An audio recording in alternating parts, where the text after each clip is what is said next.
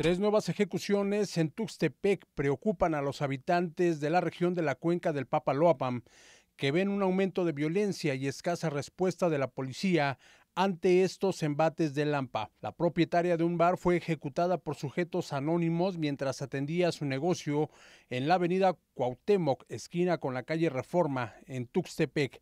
Rosa Ileana Barbosa Delgado, de 27 años de edad, fue sorprendida por una lluvia de balas disparadas por la pareja de pistoleros que después de consumar el crimen huyó en una motocicleta.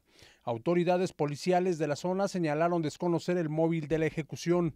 Por otra parte, en el camino que conduce de la granja hacia San Miguel Soyaltepec, a la altura del puente Amapa, Tuxtepec, apareció el cadáver de un joven de 25 años de edad. Esta persona fue torturada antes de ser asesinada. Sus verdugos le cortaron una mano y le dejaron un mensaje con senda amenaza.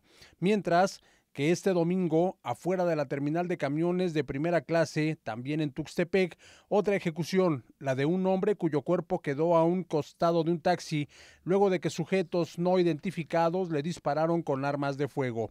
Con información de MBM Televisión.